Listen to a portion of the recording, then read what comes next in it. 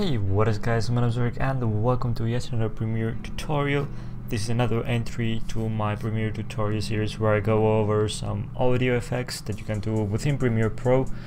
I'm basically going to show you guys how to add some bass uh, to either like music, basically any uh, audio source. I personally use a lot of these uh, sound effects uh, in my um, funny moments videos so I use them as a kind of a meme as a joke to enhance the uh, the, the, the hilarity I guess or the stupidity of something so uh, as for the very first tutorial I'm also going to be using a clip of me saying hello that used to be a signature thing that I do nowadays let's just um, jump into Premiere Pro and I'll show you what we are going to be doing. Alright, so we are in Premiere Pro. I got my browsers all sorted. I got my audio clip here. Me saying hello. Hello? Hello? and as you can see, I've left some empty space before and after. Um, now, if you want to do some noise removal in Audacity, then you can do that uh, just leave some uh, space in uh, just to record like the background noise and then you can uh, sample that and basically do some audio um, noise reduction stuff. If you want a tutorial on noise reduction, you can actually do some in Premiere Pro, believe it or not. If you want a tutorial on that, then leave a comment down below and I might just make it, I'll make a tutorial on that. Um, but I'm going on a tangent as per usual. So basically just have your audio here. Usually you want to have some space after whatever you want to bass boost or whatever you want to have want to add the effect on. Um, but with the bass boost it doesn't matter as much as it did for like reverb or the echo effect that I showed in the last episode or last uh, tutorial if you watched that.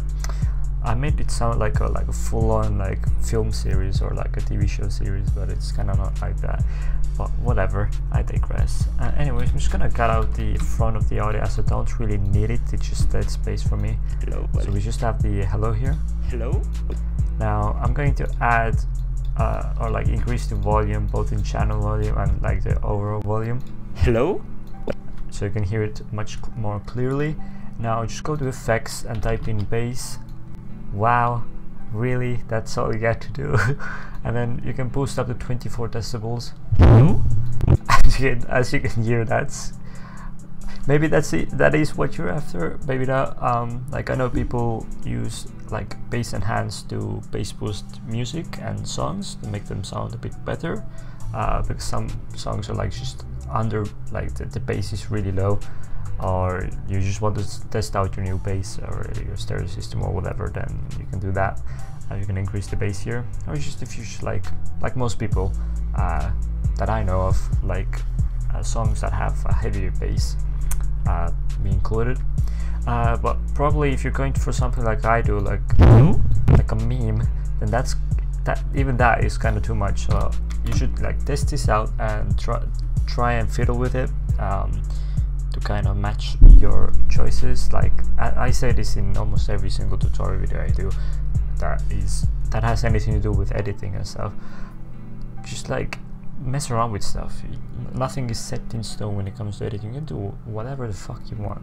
Like your imagination is your limit basically and I mean if you're missing an arm or two then uh, that kind of makes things a bit more difficult you know? But you know uh, overall it's just down to your uh, imagination and what you want to do and uh, I guess the skills you've developed over time. But I keep talking. Alright let's listen to this. Hello?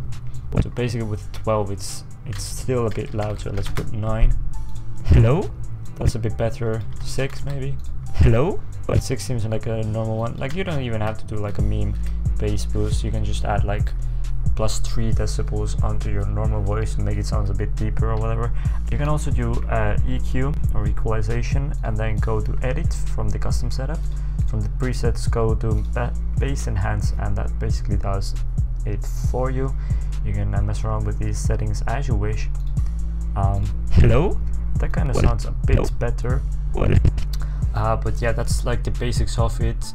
Uh, the basics of adding bass to sound in Premiere Pro.